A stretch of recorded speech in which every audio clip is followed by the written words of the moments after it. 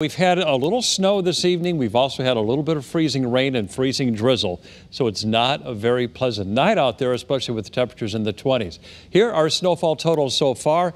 And of course, southern Connecticut got hit the hardest. Killingworth is, uh, had six inches, Madison five and a half, Gales Ferry nearly five, about an inch and a half in the northwestern part of our state. In Canaan, Tolland, an inch, according to Joey Sierra, and Roger and Wethersfield, 0.8 inches. So snowfall ranging anywhere from a coating to six inches. Wallingford, another location that got uh, six inches.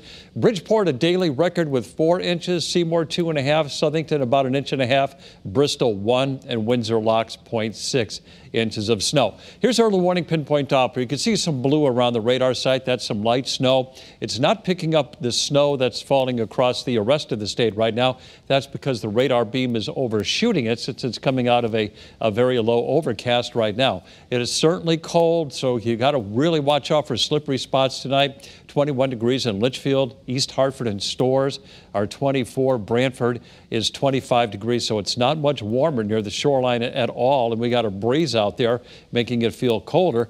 So you can see we have patchy snow in Connecticut. Now, we've had a series of low pressure systems slip out to sea to our south. The last one is going to move out to sea to the south and east of New England during the day tomorrow and that means more snow. So as we go through tonight, periods of snow, it's going to impact your morning commute, so give yourself some extra time. This is 7 o'clock in the morning, and even around the lunchtime, we'll have snow in the state, light, maybe even a little bit harder in some places.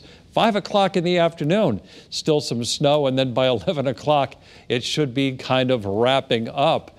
All right, so four to eight inches of snow in southern Connecticut. You know, there might be some totals around nine or 10 inches where we had six inches already. And for northern Connecticut, including Hartford, Torrington, and to get up there toward uh, Willimantic, I think we'll have two to five inches of snow before all is said and done. However, the weekend is looking pretty good. We'll talk about that and when we'll see our next storm coming up in the early warning forecast.